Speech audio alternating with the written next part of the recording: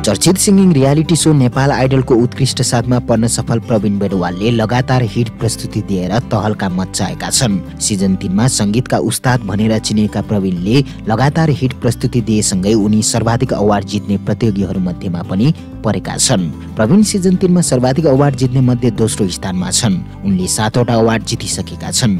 उनी भन्दा एउटा अवार्ड बढी जित्दै आठवटा अवार्ड सहित सज्जा चौलगाई अवार्ड विजेताको पहिलो स्थानमा छिन्। प्रवीणले गाला राउन्डको छैटौँ हप्ताको समाप्तिसँगै जितेको अवार्डको संख्या सातवटा पुगेको हो। उनले उत्कृष्ट सातको सोलो प्रस्तुतिका क्रममा स्वर सम्राट नारायण गोपालको आवाजमा रहेको सदाबहार गीत तिम्रो जस्तो मुटु गाएका थिए। विशेष अतिथि सहित सबै निर्णायकलाई पटक पटक रोमाञ्चक बनाउँदै प्रस्तुति दिएका प्रवीणलाई सबैले स्ट्यान्डिङ अवेसन दिएका थिए। निर्णायकहरू उनको प्रशंसाका लागि स्टेजमै पुगेका थिए। प्रवीण बेडवाल नेपाल आइडल सिजन तिनको उपाधि दावेदार मध्येका एक प्रतियोगी हुन्।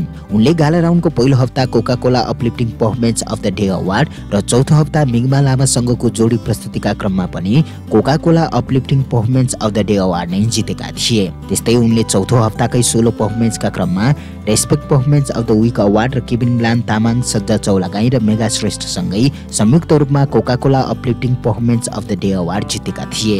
साथै पाँचौँ हप्ता उनले सज्जा चौलगाईसँगको प्रस्तुतिका क्रममा Coca Cola uplifting performance of the day award र पाँचौँ हप्ता नै उत्कृष्ट आर्टको सोलो प्रस्तुतिका क्रममा सज्जा चौलगाईसँगै संयुक्त रूपमा Coca Cola uplifting performance of the day award नै जितेका थिए।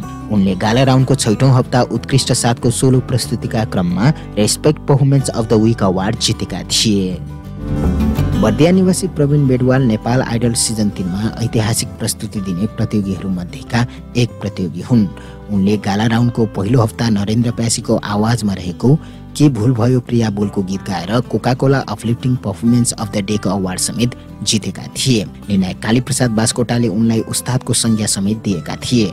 उनको प्रस्तुति नै सिजन तिनको गाला राउन्डमा पहिलो रेस्पेक्ट पर्फर्मेन्स बन्न सफल भएको थियो। नेपाल आइडल सिजन तिनमा सुमधुर आवाजका कारण चिनिएका प्रवीण तेइस वर्षका छन्। बुटोल अडिसनबाट छनौट हुँदै उत्कृष्ट एघारको यात्रा तय गरेका प्रवीणले सङ्गीत विषयमा नै स्नातक गरेका छन्। साङ्गीतिक परिवारमा नहुर्के पनि उनी सङ्गीतको क्षेत्रमा सानैदेखि सक्रिय छन्। सुरु सुरुमा आफू गायन क्षेत्रमा लाग्दा परिवारको त्यति साथ नपाए तापनि सङ्गीतमा उनको रुचि झन झन बढ्दै गयो। अरूले त्यति साथ नदिए पनि उनलाई उनको हजुरआमाले हौसला दिएको उनी सम्झन्छन्। कक्षा दससम्म गाउँमा नै अध्ययन गरेका प्रवीणले त्यसपछि काठमाडौँको बसाइ सुरु गरे। काठमाडौँ आएर त्रिचन्द्र कलेजमा भर्ना भएका प्रवीण पछि सङ्गीत विषयमा नै अध्ययन गर्नका लागि भन्दै भारतको तमिलनाडुमा पुगे।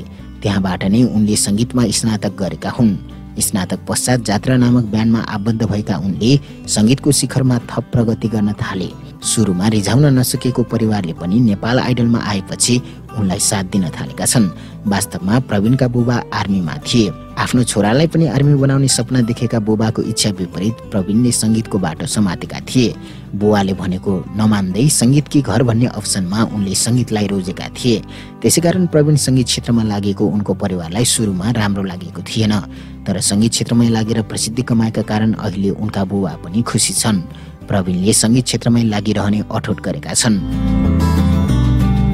प्रवीणको voting code NI zero nine हो।